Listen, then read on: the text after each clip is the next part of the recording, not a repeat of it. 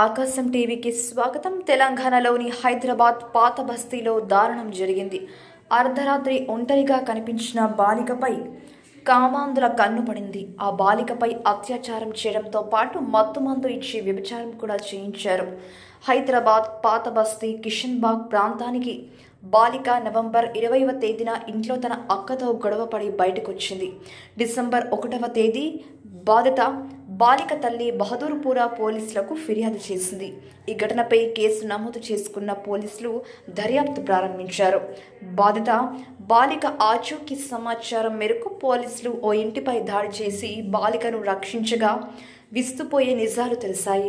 Auto driver అతని స్నేహితునితో కలిసి దారుణం.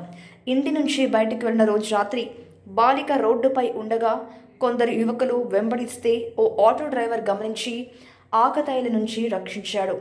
బాలిక వివరాలను ఆటో డ్రైవర్ ఆరా తీయగా ఇంటికి వెళ్ళనని చెప్పడంతో ఆటో డ్రైవర్ సమీర్ అతని స్నేహితుడు హఫీజ్తో కలిసి ఆ బాలికని అత్తాపూర్ పరిధిలోని ఉప్పరపల్లిలో ఉన్న తన ఇంటికి తీసుకెళ్ళారు. ఆపై ఇద్దరు బాలికపై అత్యాచారం చేసి మైలాదేవపల్లి ప్రాంతంలో ఇద్దరు మహిళల సాయంతో ఓ ఇంట్లో ఉంచి బలవంతంగా వ్యభిచారం చేయిస్తున్నారని బహదూర్పుర సిఐ దుర్గా ప్రసాద్ తెలిపారు.